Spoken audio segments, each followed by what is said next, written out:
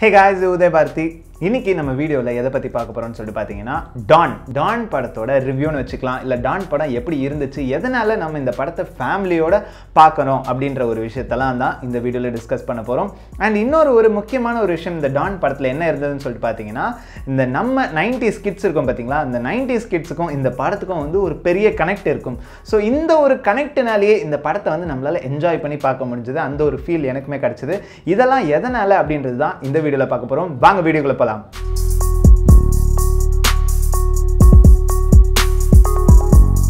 நம்ம எல்லாருக்குமே சின்ன வயசுலேருந்தே நம்மளோட அப்பா அம்மா வந்துட்டு பிறக்கும் போதே வந்து டிசைட் பண்ணிட்டாங்க. நான் பல வீடியோஸில் சொல்லியிருப்பேன். எஸ் நம்ம வந்து பிறக்கும் போதே இவர் வந்து இன்ஜினியர் அப்படின்ற மாதிரி அவங்களே டிசைட் பண்ணிக்கிட்டாங்க. நம்மளை எடுத்துகிட்டு போய் ஒரு ஸ்கூலில் சேர்த்துருவாங்க. அந்த ஸ்கூலில் வந்து நம்ம என்ன படிக்கிறோம் எவ்வளோ மார்க்ஸ் வாங்குறோம் இதெல்லாம் வந்து ரொம்ப ஸ்ட்ரிக்டாக கண்காணித்து அதுக்கப்புறம் நம்மளை வந்து காலேஜ் சேரும் போதுமே வந்து நமக்கு கொடுக்குற ஆப்ஷன் என்னன்னு சொல்லிட்டு பார்த்தீங்கன்னா கட் ஆஃப் மார்க்கை வச்சு நீ எந்த இன்ஜினியரிங் காலேஜில் சேர போகிற இல்லை உன்னோட கட் ஆஃப் மார்க் கம்மியாக இருக்கும்னு தெரிஞ்சதுன்னா நான் உன்னை எந்த இன்ஜினியரிங் காலேஜில் சேர்த்து விட? இதுதான் வந்து நம்மளோட பேரண்ட்ஸ் சொல்லுவாங்க. ஸோ இதில் இதுலேயே வந்து நமக்கு தெரிஞ்சிடும் ஓகே நம்ம வந்து சின்ன வயசுலேருந்தே நமக்கு ஒரு தாட் என்னென்னா நம்ம என்னவா ஆக போகிறோம் அப்படின்ற ஒரு விஷயத்தை வந்து யோசிச்சுக்கிட்டே இருப்போம். அது யோசிக்கிறதுக்குள்ளேயே வந்து காலம் கடந்து நம்ம வந்து ஸ்கூலை முடித்து காலேஜும் சேர்ந்துரும். காலேஜ் சேரும்போது நமக்கே தெரியாமல் நம்மளே வந்து இன்ஜினியரிங் உள்ள வந்து எதுக்காக இன்ஜினியரிங் உள்ள வந்தோன்றதே தெரியாமல் இன்ஜினியரிங்கையும் முடிச்சுட்டு அதுக்கப்புறம் ஐடி வேலையில் இருப்போம். இந்த மாதிரி பல நைன்டிஸ் கிட்ஸோட வாழ்க்கையில் நடந்திருக்குது இன்க்ளூடிங் என்னோட வாழ்க்கையும் தான். அதுக்கப்புறம் தான் இந்த ஒரு இன்ஜினியரிங்கை முடிச்சுட்டு ஒரு ஐடி கம்பெனியில் சேர்ந்து தான் நம்ம வந்து நம்ம லைஃப்பில் வந்து தப்பு பண்ணிட்டோமோ இதுக்கப்புறம் நம்ம ஏதாவது பண்ணியிருக்கணுமோ இல்லை ஏதாவது நம்ம இப்போ பண்ணி நம்மளோட லைஃப்பை மாற்றணுமோ அப்படின்னு அப்படின்ற ஒரு தாட்டு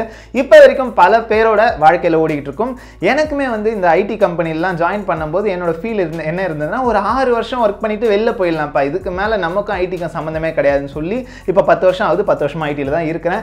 எப்படியாவது எதையாவது ஒன்று மாற்றி பண்ணணும் அப்படின்ற ஒரு தாட் இருந்தாலும் அது வந்து நம்மளோட லைஃப்பில் மாற்ற முடியாது. அப்படியே தான் போயிட்டுருக்கோம். அது வந்து டிசைனாக என்னன்னு தெரியல. ஸோ அந்த ஒரு ஸ்டோரியை கனெக்ட் பண்ணுற மாதிரி தான் இந்த சிவகார்த்திகேயனோட டான் படமும் இருந்தது. படத்தோட ஸ்டார்டிங்கில் சிவகார்த்திகேயன் வந்து ஒரு ஸ்கூல் படிக்கிறதுலேருந்து அந்த ஸ்டோரியை காட்டுவாங்க. அண்ட் நம்ம எல்லாரோட லைஃப்லையுமே வந்து நம்மளோட பேரண்ட்ஸ் வந்து எய்தர் ரொம்ப ஸ்ட்ரிக்டாக பயங்கரமாக அடிக்கிறவங்களா இருந்திருப்பாங்க இல்லைனா ரொம்ப எமோஷ்னலாக நம்மளை வந்து பயங்கர எமோஷ்னல் பிளாக்மெயில் பண்ணுற பேரண்ட்ஸாக வந்து இருப்பாங்க. ஸோ இந்த ரெண்டு விதமான பேரண்ட்ஸ் தான் நைன்டி கிட்ஸோட வாழ்க்கையே வந்து ஷேப் பண்ணி வச்சிருக்கிறாங்க இத்தனை வருஷம். அப்படிப்பட்ட ஒரு ஸ்டோரியை தான் இந்த படத்துலையும் காமிச்சிருக்கிறாங்க. சிவகார்த்திகேயன் சின்ன வயசில் இருக்கும்போது அவரோட அப்பாவா சின்ன வயசு இருந்தாலும் சரி பெருசாக இருந்தாலும் சரி அவரோட அப்பா ஒரே ஆள் தான் வராரு அந்த கேரக்டரில் இருக்கிறது யாருன்னு சொல்லிட்டு பார்த்தீங்கன்னா சமுத்திரகனி ஸோ சமுத்திரக்கனி வந்தாலே தெரியும் உங்களுக்கு வந்து ஓகேப்பா இந்த சாட்டை இந்த மாதிரி பல படத்தில் வந்து டைலாக்ஸாக சொல்லுவார். அந்த மாதிரி இதில் வந்து பயங்கரமாக பேசியிருப்பாரா அப்படின்னு சொல்லிட்டு பார்த்தீங்கன்னா எமோஷன்லேயே வந்து அடித்து காலி பண்ணியிருக்கிறாரு. அவர் வந்து சிவகார்த்திகேயனுக்கு படத்தில் ஒரு ரொம்ப ஸ்ட்ரிக்டான ஒரு அப்பா. ஸோ எந்த அளவுக்கு ஸ்ட்ரிக்ட்னு சொல்லிட்டு கேட்டிங்கன்னா முடி நல்லா இருக்குன்னு ஸ்டைல் பண்ணால் கூட்டு போய் மொட்டை அடிச்சிருவார். ஸோ அந்த மாதிரியான ஒரு பயங்கரமான ஒரு அப்பா. ஸோ இந்த அப்பா வந்து சின்ன வயசுலேருந்து எதையுமே வந்து சிவகார்த்திகேயனை யோசிக்க விடாமல் இதுதான் வந்து அவரோட பையனுக்கு வந்து கரெக்டாக இருக்கும்னு சொல்லி ரொம்பவே ஸ்ட்ரிக்டாக வளர்த்து அவரை கூட்டு போய் இன்ஜினியரிங் காலேஜ்லையும் சேர்த்து விட்டுறாரு. ஸோ அப்போ வந்து சிவகார்த்திகேயனாவது படத்தில் வந்து சொல்லுவார் நான் பிஎஸ்சி சேர போகிறேன் எனக்கு பிஇ வேணாம் அப்படின்னு சொல்லிட்டு சொல்லும்போது நீ வந்து இன்ஜினியரிங் தாண்டா படிக்கிற இந்த இதில் கையெழுத்து போடு உனக்கு வந்து நான் எஜுகேஷன் லோன் வாங்கியிருக்கிறேன் அப்படின்னு சொல்லிட்டு அவங்க அப்பா காட்டுவார். இதே நம்ம வீட்டில் வந்து என்ன நடந்திருக்கோம்னா அப்படியே அழுது புலம்பி நீ இன்ஜினியரிங் தான்ப்பா சேர்ற நம்மளோட ஃபேமிலி நீ தான்ப்பா காப்பாற்றணும் அப்படின்னு சொல்லிட்டு ஒரு நாலு வார்த்தை சொல்லி ஒரு கண்ணீர் விட்டதுக்கப்புறம் நம்ம வந்து இன்ஜினியரிங் தான்ப்பா போகிறோம் அங்கே வந்து எப்படியாவது இதை முடிக்கிறோம்னு சொல்லி நமக்கே தெரியாத அந்த ஒரு டாஸ்க் எடுத்துக்கிட்டு காலேஜ் உள்ளே வந்து சேருவோம். ஸோ இப்படி தான் சிவகார்த்திகேயனும் இந்த இன்ஜினியரிங் காலேஜ் உள்ளே வராரு. நம்ம சின்ன வயசுலேருந்து நம்ம மனசுக்குள்ளே நினச்சிக்கிட்டு இருக்கிறது வந்து சிவகார்த்திகேயன் அவர் ஃப்ரெண்டு கிட்ட படத்தில் வந்து ஃபுல்லாக கேட்டுக்கிட்டே இருப்பார். திடீர்னு வந்து நான் வேணா ஒரு மீம் கிரியேட்டர் ஆகிட்டா இல்லை நான் வேணா ஒரு டான்ஸர் ஆகிட்டா நான் வேணா ஒரு டாக்டர் ஆகிட்டா அப்படின்னு சொல்லிட்டு மாற்றி மாற்றி வந்து கேட்டுக்கிட்டு இருப்பாரு. இது கேட்கும்போது வந்து நம்மளோட அந்த ஒரு மைண்ட் வாய்ஸ் எல்லாத்தையுமே நம்மளோட லைஃப்பில் நம்ம பார்த்த இன்சிடென்ட்டை நம்ம திருப்பி ரீவிசிட் பண்ணுற மாதிரி தான் இருந்தது. அந்த ஒரு ஃபீல் ஒரு என்ஜாய் மூமெண்ட் ஒன்று தந்தது. அண்ட் இது மட்டும் இல்லாமல் சிவகார்த்திகேயன் வந்து அந்த படத்தில் போகிற காலேஜ் பேர் வந்து பெஸ்ட் இன்ஜினியரிங் காலேஜ் அப்படின்னு சொல்லிட்டு இங்கே சென்னையில் இருக்கிற ஒரு காலேஜ் தான் காட்டுவாங்க. அண்ட் அந்த காலேஜில் தான் நானுமே படித்தேன் அது வந்து பெஸ்ட் இன்ஜினியரிங் காலேஜ் கிடையாது. பேர் வேறு. பட் அந்த காலேஜில் வந்து நான் படித்தப்போ என்னென்ன விஷயங்கள் இருந்ததுன்னு உங்களுக்கு சொல்கிறேன் அண்ட் அந்த அந்த படத்தில் அதை காட்டும்போது அந்த ஒரு கனெக்ட் வந்து செம்ம ஃபேண்டாஸ்டிக்காக இருந்தது. அந்த ஒரு ஃபீல் இன்ஃபேக்ட் அந்த காலேஜில் படித்ததுனாலேயோ என்னவோன்னு தெரில எனக்கு வந்து ரொம்பவே என்ஜாய் பண்ண முடிஞ்சது. என்னோட காலேஜை நான் திருப்பி பார்த்து அங்கே இருக்கிற ரூல்ஸ் அண்ட் ரெகுலேஷன்ஸ் எல்லாத்தையுமே பார்க்கும்போது ரொம்பவே வந்து ஒரு சாட்டிஸ்ஃபைடான ஒரு விஷயம் இருந்தது. நாங்கள் காலேஜுக்கு போகும்போது வந்து எங்களோட பஸ்ஸில் நடுவில் வந்து கம்பி இருக்கும். ஃப்ரண்ட்டில் கேர்ள்ஸ் இருப்பாங்க பின்னாடி பாய்ஸ் இருப்போம். நடுவில் வந்துட்டு ஸ்டாஃப் உட்காந்துக்கிட்டு இருப்பாங்க. இதில் பசங்க ஏதாவது ஒரு அட்ராசிட்டி வேலைகள் பண்ணாங்கன்னா டேரெக்டாக ஸ்டாஃப்ஸ் வந்து கண்டிக்கலாம். இல்லை ஸ்டாஃப்ஸ் மூலிமா மேனேஜ்மெண்ட்டுக்கு போயிடலாம். இத்தனை விஷயங்கள் நடக்கும். அண்ட் காலேஜில் வந்துட்டு கிளாஸ் உள்ள கேம்பஸ் உள்ள வந்துட்டு பசங்க பொண்ணுங்க வந்து பேசிக்க கூடாது. நாங்கள் வந்து ஒரு நாள் லீவு போட்டோம்னா பேரண்ட்ஸுக்கு வந்து மெசேஜ் வரும். இந்த மாதிரி உங்களோட பையனோ இல்லை பொண்ணோ வந்து இன்றைக்கி காலேஜ் லீவு அப்படின்னு சொல்லிட்டு வரும். ஸோ இதெல்லாம் வந்து நம்ம பேரண்ட்ஸ் கிட்ட டேரெக்டாக போட்டு கொடுக்குற மாதிரி இருக்கும். இந்த விஷயம் எல்லாத்தையுமே வந்து ஒன்று சேர்த்து ஒரே ஆள் அந்த இடத்துல வந்து கட்டுக்கோப்பாக வச்சுருக்கிற மாதிரி காமிச்சாங்க. அது யாருன்னு பார்த்தீங்கன்னா எஸ்ஜே சூர்யா படம் ஃபுல்லாக வந்து அவரோட அந்த கேரக்டரைசேஷன் காமிச்சிருக்காங்க பாருங்க. வேற லெவலில் இருக்கும். அதில் ஒரு டைலாக் அவர் சொல்லுவார் you are suspended you too suspended அப்படின்னு சொல்லிட்டு வேற லெவலில் இருக்கும் அந்த ஆக்டிங் எல்லாமே.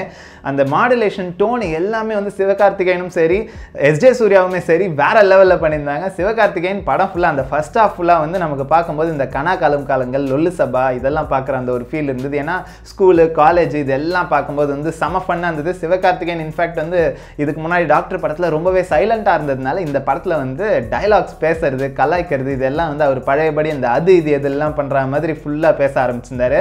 ஸோ நல்லா ஃபன்னாக இருந்தது. அண்ட் அவர் கூட ட்ராவலான மற்ற கேரக்டர்ஸ் பாலா அப்புறம் வந்து ஆர்ஜே விஜய் அண்ட் அடுத்தது வந்து சிவாங்கி இவங்கெல்லாம் வந்து அவங்கவுங்க போர்ஷனை வந்து கரெக்டாக பண்ணியிருந்தாங்க.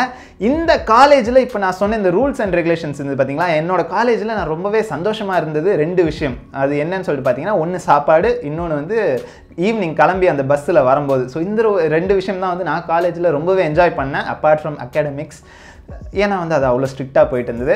ஸோ இவ்வளோ ஸ்ட்ரிக்டான விஷயங்கள் எல்லாத்தையுமே வந்து அடித்து உடச்சி தூக்கி எரிஞ்சு அது எல்லாத்தையும் லிபரலாக மாற்றுறதுக்கு ஒருத்தன் வருவானா அப்படின்னு சொல்லிட்டு நாலு வருஷமும் நாங்கள் ஏங்கிக்கிட்டு இருந்தோம். அந்த நாலு வருஷம் எங்களுக்கு வந்து யாருமே அப்படி வரல. நாங்களே அந்த காலேஜை முடிச்சுட்டு வெளில வந்துட்டோம்.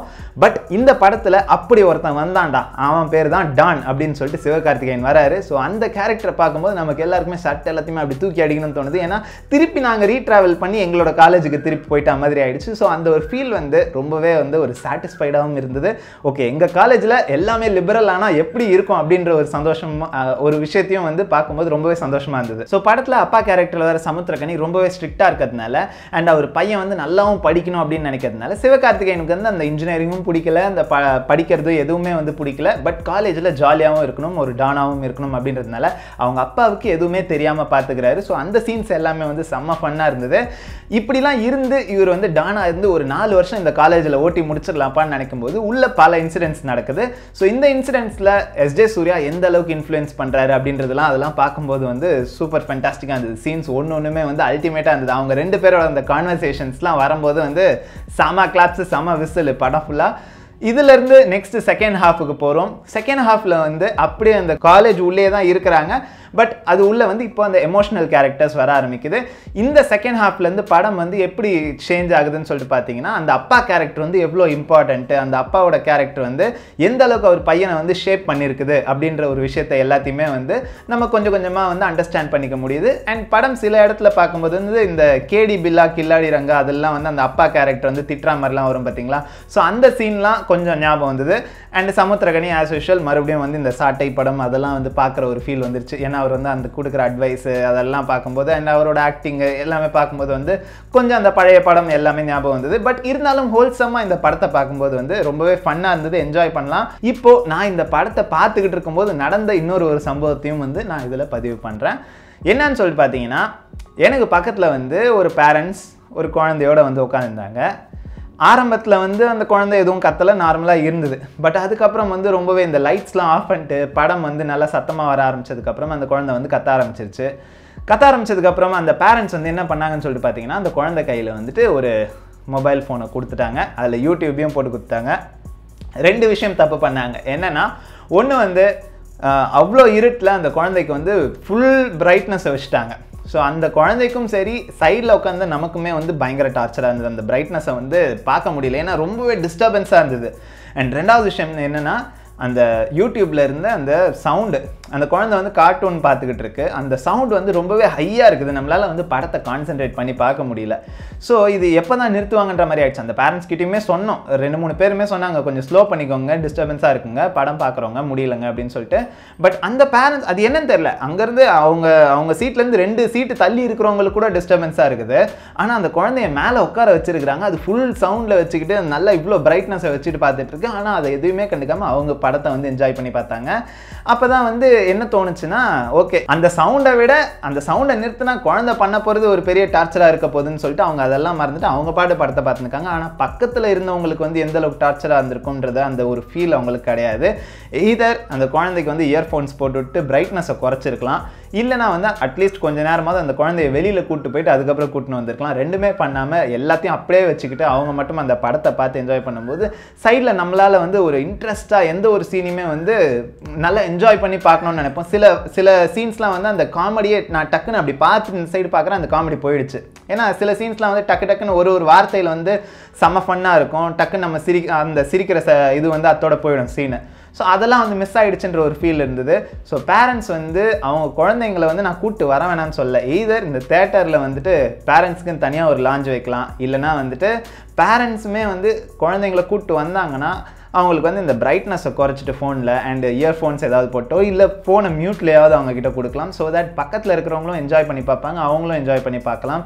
பட் இது எதுவுமே இல்லாமல் எல்லாத்தையுமே ஹையாக வச்சுக்கிட்டு எப்படி என்ஜாய் பண்ண முடியும்னு தெரில எனக்குமே வந்து ரொம்பவே கஷ்டமாக இருந்தது அந்த படம் பார்க்கும்போது. பட் இதெல்லாம் தாண்டி இந்த படம் வந்து I felt it was good நீங்கள் கண்டிப்பாக உங்கள் ஃபேமிலியோட எல்லாருமே போய் என்ஜாய் பண்ணி பார்க்கலாம். படத்தில் வந்து சாங்ஸாக இருக்கட்டும் படத்தை காட்டின விதமாக இருக்கட்டும் டேரக்டர் சிபி சக்கரவர்த்தி அண்ட் uh, uh, இந்த இந்த படம்லாம் பார்க்கும்போது ஐ ஃபெல்ட் இந்த ஓகே இது இந்த ஸ்டோரியே வந்து ஏதோ கௌதம் மேனனை காட்டுற மாதிரி தான் இருந்ததுன்னு சொல்லிட்டு ஸோ அதுக்காக தான் வந்து கையில் இந்த காப்பெல்லாம் போட்டு வச்சிருக்கிறேன். ஸோ இதுதான் வந்து மக்களே இந்த டான் படத்தோட ரிவ்யூ இங்கே வேறு ஒரு குயில் வந்து கத்திக்கிட்டே இருக்குது. எவ்வளோ சொன்னாலும் கேட்கல. நானும் ரெண்டு மூணு வாட்டி சொல்லி பார்த்துட்டேன். இந்த குயில் சத்தம் நடு நடுவில் வந்துட்டு இருந்ததுன்னா I am really sorry so இப்படி தான் நான் படம் பார்க்கும்போதும் அந்த குழந்தை வச்சிருந்த ஃபோன் சத்தம் வந்து எனக்கு இருந்தது. ஸோ இந்த வீடியோ பார்க்குற உங்களுக்கும் அந்த ஃபீல் வந்திருக்கும்னு நினைக்கிறேன். என்னோட வீடியோஸ் உங்களுக்கு ரொம்ப பிடிச்சிருந்ததுன்னா லைக் பண்ணுங்கள் ஷேர் பண்ணுங்கள் கமெண்ட் பண்ணுங்கள் and முக்கியமாக என்னோட யூடியூப் சேனலுக்கு சப்ஸ்கிரைப் பண்ணிருங்க. மறக்காமல் அந்த பெல் ஐக்கனை கிளிக் பண்ணாதவங்களும் கிளிக் பண்ணிருங்க. நாளைக்கு நான் இன்னொரு ஒரு நல்ல சுவாரஸ்யமான கண்டென்ட்டோட உங்களை வந்து மீட் பண்ணுறேன் until then Udhayabathi signing out cheers bye bye